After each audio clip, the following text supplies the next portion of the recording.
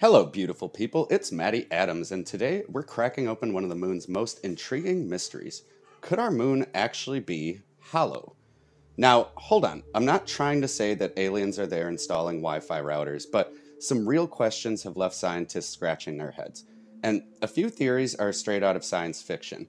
In fact, the 2022 movie Moonfall dives into this topic, albeit from a wild sci fi Hollywood perspective. So, Let's start with what we know first, and then we'll drift into the deep end towards the end. Now, spoiler alert, I'm from Wisconsin, and I, I was devastated to find out that after all of this research, the moon actually isn't made of cheese. So, what is it made of? Let's look into why the whole hollow moon theory even came to be in the first place and why people seem to think this. Reason number one is the Bell effect.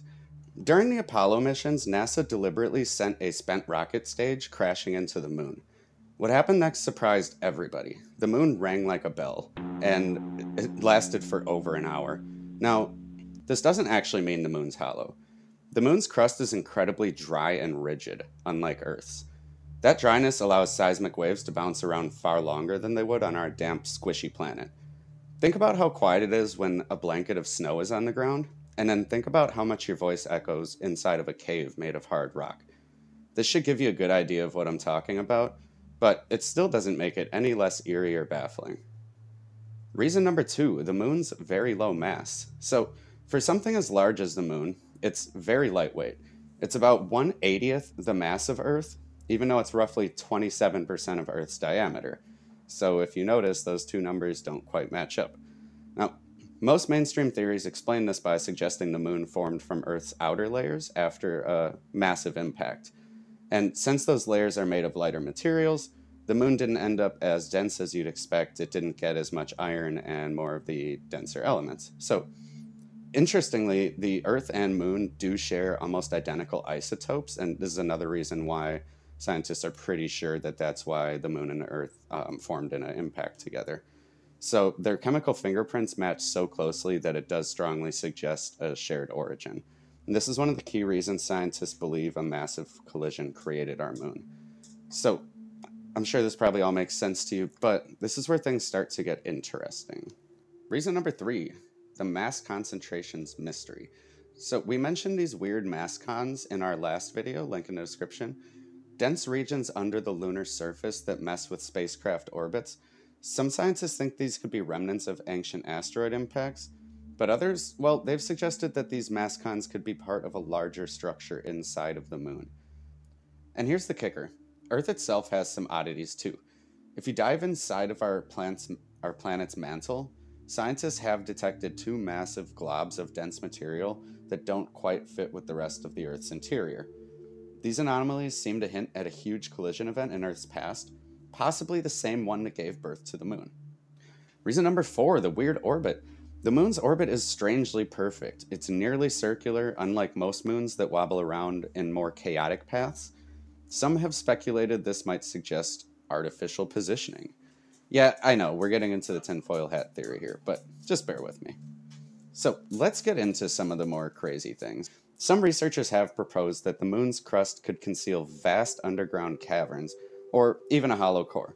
And this idea gained traction when scientific data hinted at strange voids beneath the surface.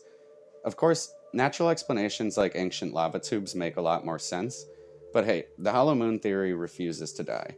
And you know, keep in mind when we were talking about Mars in our Mars video about lava tubes that a smaller object would have much larger lava tubes due to the low gravity. So you know, if there were lava tubes on the moon, they could be really, really massive and, you know, actually contribute to and give it some sort of like a Swiss cheese effect, actually, where you've got, you know, all these just areas of density and then areas of lack of density because it's just giant hollow tubes running through it. So,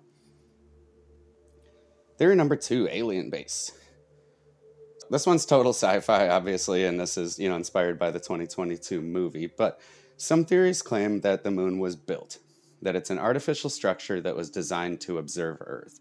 And they suggest that these mass concentrations could be anchor points or part of an enormous hidden framework of labyrinths. And while there's zero solid evidence for this, it's got that irresistible what if factor. And for those of you who watch my my Fermi paradox videos, if you remember when we talked about the alien zoo hypothesis, you know, if a very advanced species of aliens were watching us, I'd like to think that a hollow moon base or even just small beacons on the far side of the moon could be a great way to observe us without knowing. Another reasons people point to why it might be like a moon base or something is because um, all of the craters on the moon are oddly uniform.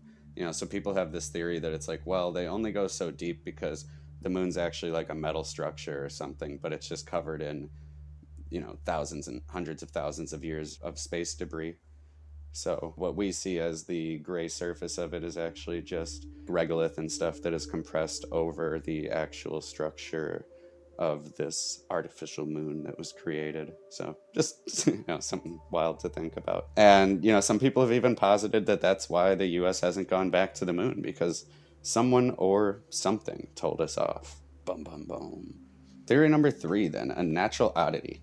Now, here's the most realistic explanation since I know we got a little off the deep end on this one, but the moon's unusual density could simply be due to its formation. If it was born in the Earth's upper crust, these materials would naturally be less dense. Add a few lava tubes, some pockets of gas, and dry rock, and you've got something that's very ringy without being a giant space bell. So, you know, usually Occam's razor, you know, as much as we like to explore the, the fun and the fringe around here, it's usually the more simple explanation. But, you know, who knows?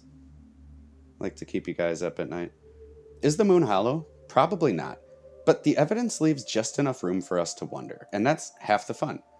Whether you're team alien base, team cosmic sponge, you think the moon is made out of cheese, or you're just here for the fun facts, there's no denying that the moon is one mysterious neighbor. So, what do you think? Could there be something strange hiding beneath that dusty surface? Let me know in the comments below. And hey, if you enjoyed this, don't forget to comment, share, subscribe, all that fun stuff. Check out the next video. I did a video a couple other videos on the moon already, so check those out as well. They'll be linked in the description and here on the end screen. Till next time, keep learning every single day.